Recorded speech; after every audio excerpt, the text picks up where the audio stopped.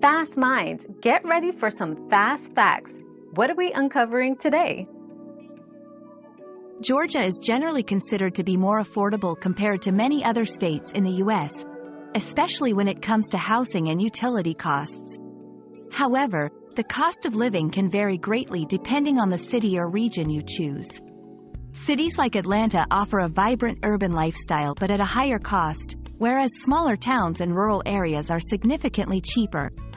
Always consider factors like employment opportunities, healthcare, and transportation costs when evaluating the overall affordability of living in Georgia.